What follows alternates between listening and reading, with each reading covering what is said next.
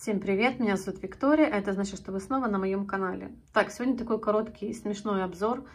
Ой, я не знаю, сейчас расскажу вам просто свою историю, поклацаю, и на этом все. Особо долго рассусоливать нечего, но у вас есть все шансы увидеть Тетрис тех лохматых времен и современный Тетрис. У меня есть и тот, и другой.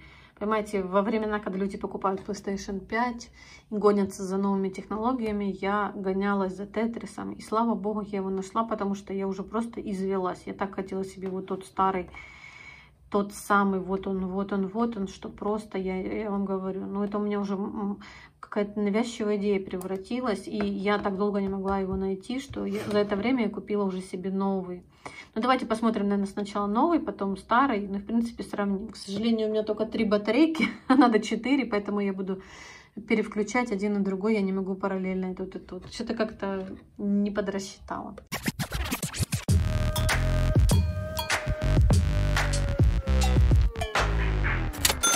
Давайте начнем с нового. Значит, новый, во-первых, э, вариации новых тетрисов просто завались. Они выглядят э, совершенно как угодно. Они им форм-фактор старого тетриса. И какие-то всевозможные другие формы. Ну, какой вашей душе угодно. Просто вы можете выбрать. Я, видите, хотела такой, как... Ну, во-первых, я хотела оригинальный, поэтому как бы я выбрала оригинальную форму, потому что я очень сильно просто хотела вот тот самый брик гейм, который у меня был в моем детстве. Вот.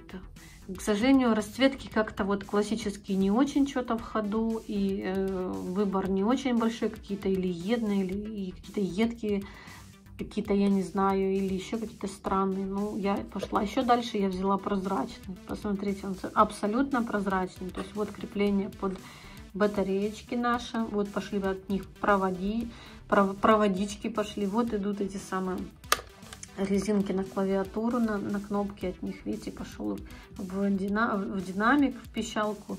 И на экран вот в контакты выводит все на этот маленький монохромный дисплей. Ну, в общем, все как было в нашем детстве, только мы этого ничего не видели. Это все было непрозрачно. Я думаю, что это если я в своем детстве видела это прозрачно, я бы уже, конечно, разбомбила. Он у меня намного раньше умер, потому что мы были такие любопытные, нам было все важно. А если бы я видела там есть какие-то резинки, провода. В общем, я думаю, он бы прожил не так долго, как он у меня прожил. Поэтому, слава богу, что я этого ничего не видела. Но сейчас как бы я спокойно могу на это смотреть. Мне, в принципе, то, что он прозрачный, нравится. Давайте я его включу. И вы посмотрите сами, о чем идет речь. Так, я вставила батарейки и пошла сразу дискотека. 9999 в одном только сегодня, только для вас. Я не знаю, оставить звук или нет. Звук, в принципе, знаете, не противный. Хотя, конечно, я, скажем так, стараюсь без него играть, потому что я понимаю, что я отвлекаю. Значит, когда начинается в начале, вы переставляете влево-вправо и выбираете игру. Вот у нас сейчас идет 4-1, то есть 5-6. Я и обычно ищу Вот я пошла на второй.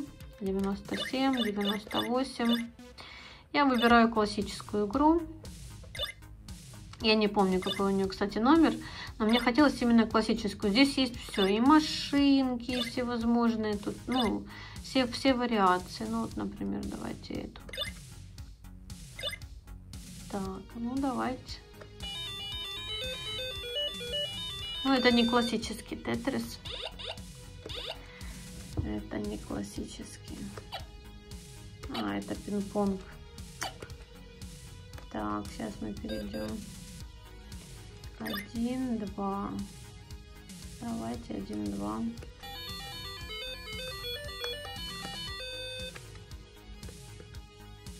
Это в бок куда-то, это танчики. Нет, нам это не нужно. Ну вот если нажимать Rotate, он показывает, какая сейчас игра. Вот видите, это типа пинг-понга, это вот машинки обгонять. Это машинки видно с препятствием. Это тетрис вверх ногами. Это тоже. Это какой-то тоже странный. Это вот движущийся. Мне вообще такой не... Я люблю играть самый простой классический. Я все эти интерпретации не люблю, поэтому я выбираю его обычно. И начинаю играть. Вот. Из минусов что хочу сказать. Тут как-то так странно сделано. Видите, у него последняя вот Последняя на экране как будто дырка там вот. И мне иногда кажется, что я не до конца туда доставляю, потому что это так дисплей сделан, э, что просто вот один значок как бы остается. Вот я, видите, хочу к концу, а оно не до конца. Это меня иногда смущает. Вот. Во всем остальном он мне, конечно, нравится. Пока работает, кнопки не залипают, ничего с ним не происходит принципе, меня устраивает. Но я просто хотела такой, знаете, тот самый. А не... Я же понимаю, что он не тот. Но я не люблю играть на телефоне в Тетрис. Я люблю играть вот так вот реально. Выключив звук, сидеть. И я долго могу сделать так. Во всем остальном, в принципе, он во всем похож, подобен. И если у вас есть желание вот вернуть вот этот ностальгический какой-то момент, то не нужно выискивать где-то там тратить на это столько сил и энергии, сколько потратила я. Вам достаточно просто купить его в любом магазине. Они продаются, стоят недорого, там до 100 гривен.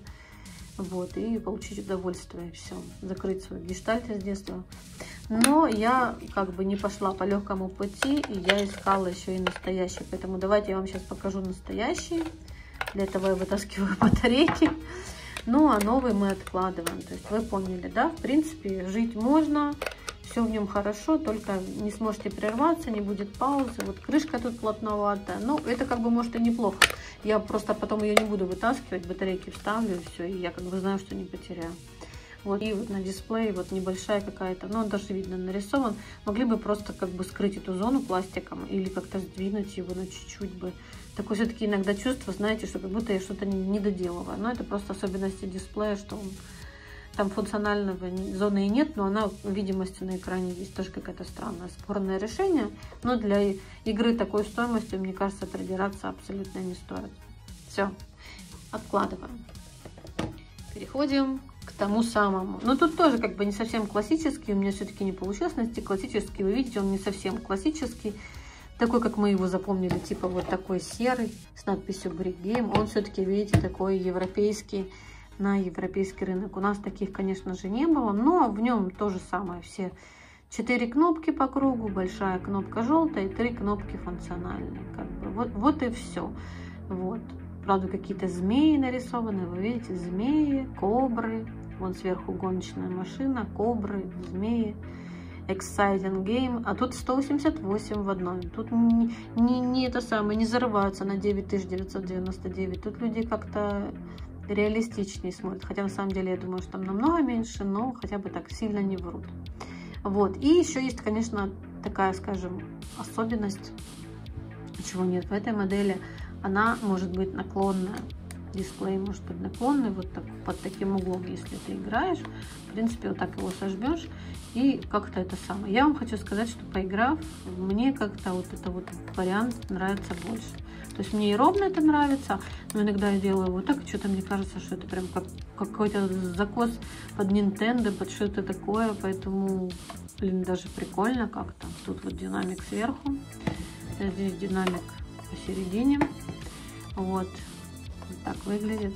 Кошка, пластик шикарный на ощупь, толстый, знаете, настоящий, тот самый из тех самых времен пластик, ничего нигде не кисленный общем, такая кап капсула времени. Ой, что-то пипикнуло и выключилось. Ну вот, включаем нашу вот эту вот игру, которая... Оба! Сейчас мы звук накатим. Во-первых, звук в трех градациях. Тише, громче. Это. Музыка более разнообразная. Это однозначно сразу видно. Вот, давайте выберем какой-нибудь вариант. Ну, например, это. Классический тетрис. Вниз. А, нет, это не классический какой-то, видите? А, они поднимаются. Все, это надо спешить. Значит, я что и сразу заметила. Здесь заедает кнопка вправо. В принципе, работает. А, это при повороте меняется фигурка. Видите, какая интерпретация. Вот я. Оп, она изменилась и меняется фигурка. Хочешь повернуть, она может измениться. Вот. Вот так. Ну, такое я вообще не играла. Прикольно. Вот. Если, я думаю, я разберу и немножко почищу, то все нормально будет. Эта кнопка вправо работает. То есть, скорее всего, что она просто окислилась. Влево вообще прекрасно работает. Верхний тоже вот реагирует. Вот слышно. Ну и это хорошо работает. Вот. Так что, конечно, с точки зрения функционалов, этот, конечно, перебивает тот прям тем более надо бы разобраться, скорее всего, тут тоже и гонки есть, и куча других игр. Вот. И по функционалу она, конечно, лучше. И градации громкости, и плюс этот дисплей. Так что я не знаю, короче, выбор, конечно, за вами. Вот, вот вам новый, вот, ой, вот вам новый, вот вам старый.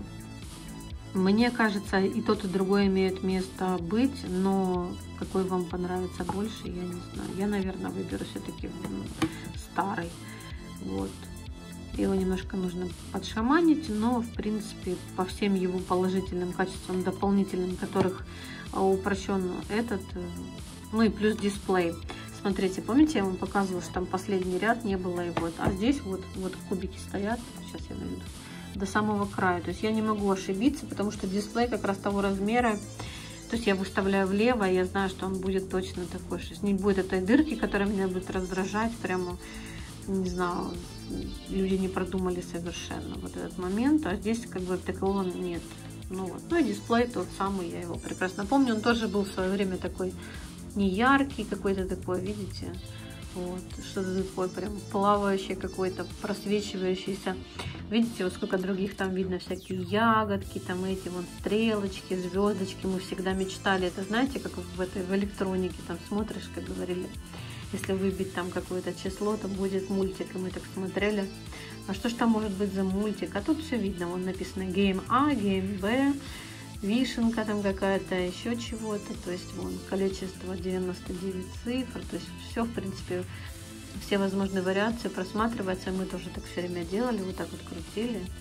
Вот, и просматривали, искали вот все, все, как говорится, тайные цифры и буквы. Я помню, как я в этот, ну погоди, вот так сидела, крутила, искала, где же там может быть этот мультик, где там будет видно, ну, видно как кто-то двигается, этот волк. Там, ну, конечно, ничего этого не было, это байки. Но вот так вот делать и открывать все тайны, конечно, нам никто не запрещал. Поэтому продолжу утверждать, что я, наверное, все-таки выберу этот. Ну, а вы решайте сами.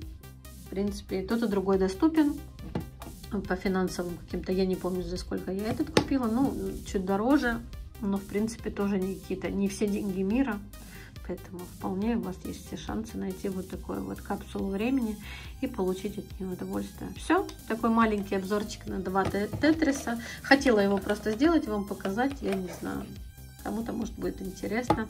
Все, ребятки, пока-пока. С вами была Виктория. Заходите в магазин Tricky Game Shop. Можете купить вот этот вот блокнотик там Марио. Эту игру там купить вы не сможете.